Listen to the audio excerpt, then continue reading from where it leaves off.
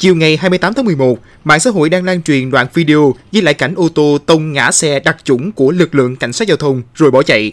Theo xác minh, vụ việc xảy ra vào khoảng 12 giờ trưa cùng ngày trên đường Trần Hưng Đạo, đoạn gần giao lộ với đường Huỳnh Mẫn Đạt, quận 5, thành phố Hồ Chí Minh. Hai chiến sĩ cảnh sát giao thông xuất hiện trong đoạn video được xác định là đội cảnh sát giao thông chợ lớn thuộc phòng cảnh sát giao thông đường bộ đường sắt PC08, công an thành phố Hồ Chí Minh.